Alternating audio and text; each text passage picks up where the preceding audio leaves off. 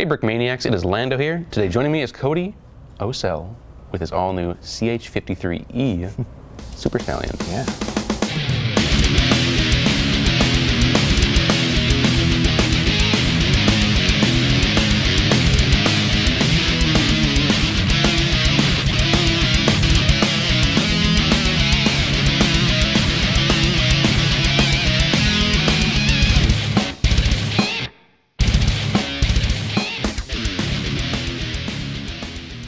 Break. Okay, welcome back. We have, uh, yeah, again, the all new CH53E Super Stallion. Yes. Um, Sikorsky. Sikorsky, officially licensed. We can say that Yes. Very cool. Um, where do you want to start, Cody? uh, I guess we'll go through a, a tad bit of history. A tad bit of history. I guess we can go. We can start with maybe some Brickmania history. So, made the Pave Low Mm-hmm. earlier this year, and this is pretty much the same thing. I actually built the design using the instructions for the Pave Low. Cheater. and just Just made kidding. some modifications of it. See, even master builders use instructions. Yeah, I copy people, mainly myself. mainly just copy myself. Uh, yeah, so it's light gray version now. It's it's a marine helicopter. Um, it was introduced in 1981, I believe, and it's it's a big family. These uh, 53 helicopters. There's quite a few. There's the Sea Dragon. There's the King Stallion. There's the Super Stallion, Sea Stallion, Pave Low, Jolly Green Giant, all that jazz. So there's quite a few that have this same size Yeah. about and, and fulfill the same roles as a heavy, heavy lift helicopter. So main differences from this as opposed to its predecessors like the Pave Low is the main rotor now has seven blades instead of six. And you And there's- did fit seven on here. I did. It's a, That's it's a fun creative technique. pretty crazy. You, yeah, the more you the more you show off this model, man, the more yeah, the more camera guy Isn't has that what stuff. the animation's for? So That's you can true. count seven on top. yes, And the tail rotor is canted at 20 degrees, 20 degrees, huh? which was a difficult thing to do. So on the original turn that towards the camera a bit, so they can see that. see that cant? Can't. Can they see it? So that was uh, difficult to achieve and maintain the way I did the Pave Low, where you spin the tail rotor and the main rotor tied to it. So I had to eliminate that feature, unfortunately. But it still does collapse and fold off to the side um, just by removing two 1x4 tiles on the tail section. And you kind of unpin it and fold it up and off to the side. So it can do it. So it can do it. so just like the Pave Low I made earlier this year, it does fold up and all the rotors collapse as well, Right. um, which was difficult to achieve with seven blades. It does it okay. Yeah. It's, it's simpler to make them collapse, but it doesn't collapse quite as tightly as the Pave Lows did. But it does do it.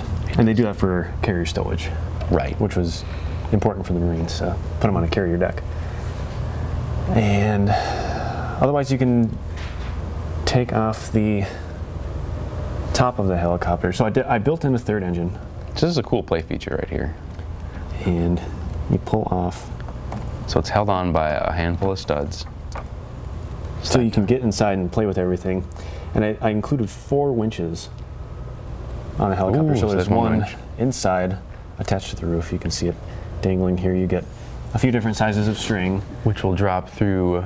So it drops through that hole in the center, and guys can rappel down it, Yes. or they can also use it as a cargo winch Right. and carry howitzers or Humvees, On the underside, I other see you light vehicles. So there's another two under there Yeah. that you can use as well.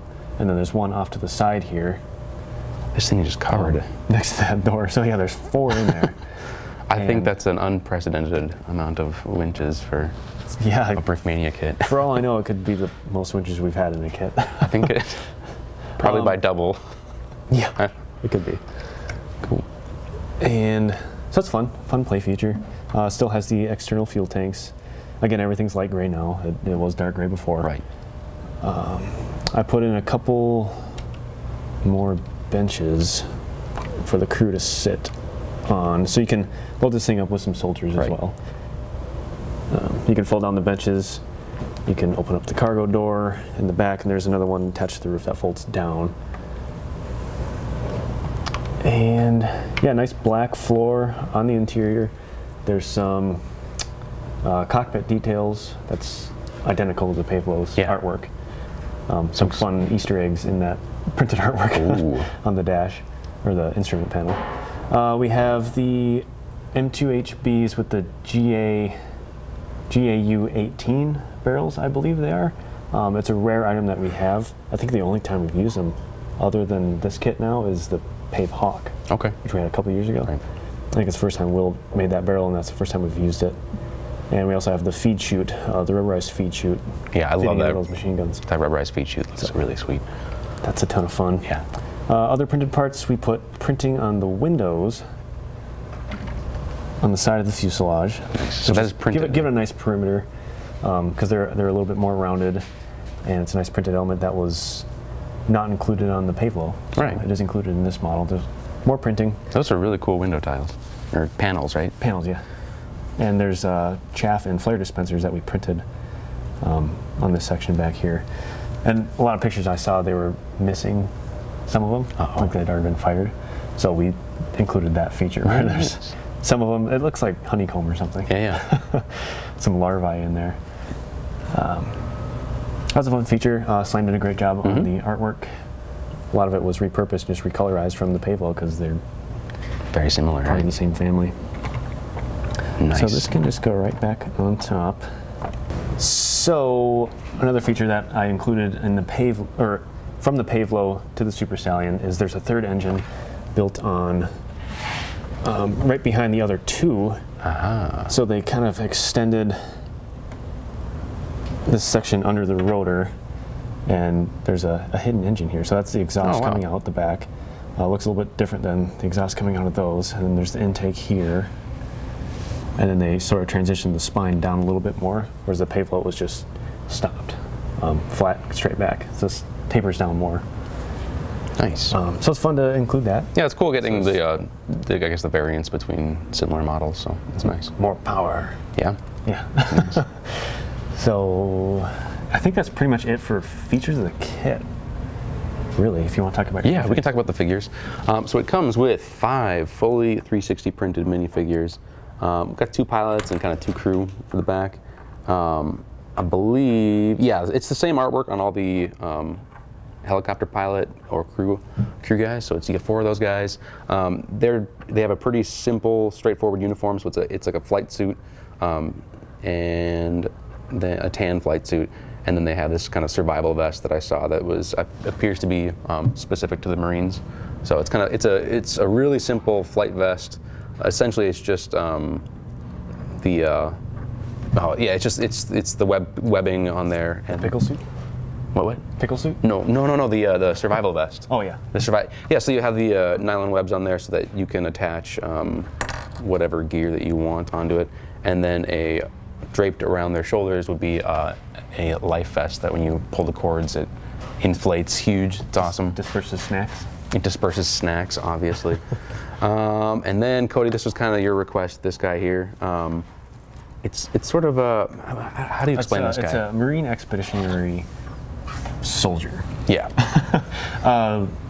You know, you usually don't send one guy off into battle by himself. Right. In a in a in a dinghy, but so we included uh, one of those Zodiac boats. yes. Um, and the, a soldier figure to go along with it to add some more playability to the kit. Mm-hmm. Right. So that, that boat can fit right into the back um, of the helicopter, or I put a couple spots in there where you can hook and pick it up. So if you ah, very nice. pretend like it's in the water and they're picking it up with a hook, uh, you can do that too. Yeah. But a lot of times I think they just drive them right up into the back of the Mm-hmm. helicopter and fly away. Yeah. I've seen videos of this thing actually like pretty much it floats, doesn't it? If I'm not mistaken. Uh, uh, maybe well, the rotors are still going. I mean, the rotors are still going, it's obviously. close. I mean, they drop the ramp right into the water. yeah, there's like water coming. It's crazy. Yeah. Um, yeah. Going back to the figure, this is debuting um, the woodland camo for that Marpat, or the woodland Marpat for the camouflage scheme. Um, turned out really great. Um, uh, I'm hoping to incorporate that in a future release as well. Uh, but this guy, he's he's a bit more uh, kind of special operations compared to your standard rank and file guy. So the gear's a bit different. Um, you know, uh, tailored for sort of special missions. So. And he's kit exclusive. Yeah, So you can only get him in this kit. Yeah.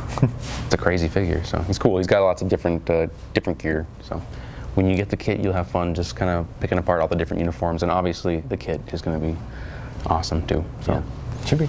anything else, Cody? Uh, I don't think so. Um, no. Aside from landing gear retracts, it's pretty straightforward. It just folds right up. Yeah. Um, pretty hard to not understand how that works. Ooh, what's up? What do you want? Your the door down. the door? Oh, the door goes down. Like, what's the camera doing? Camera guy doing? Uh, Yeah. So I removed the Sentry package from the front of the helicopter. Now you just have to FLIR off on this weird little arm to the side.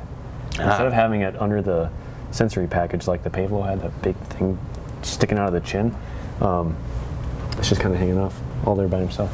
There we go. and the refueling probe, and there's a landing gear door on the front as well. Yeah. And they they always seem to have it open.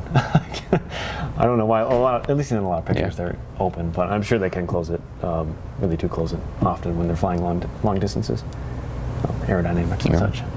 But yeah, All right, so this is the it. yeah CH53E. Did I get that right? Super Yeah, Stallion. Super Stallion. Uh, an all-new design by Cody Osell. Uh, this one's been up for pre-sale um, this whole month, and um, I think there are a few left. yeah, I think there's still some left. So hopefully by the time that this airs, that there's still going to be a few left. So, um, but yeah, so we're super excited for this kit. Um, check out brickmania.com if you want to hear, uh, get some more information on this. Uh, see some cool action shots, some pictures, everything like that. Animations. Animations, yeah, cool stuff. Um, all right, with that, that's the episode. thank you very much for watching.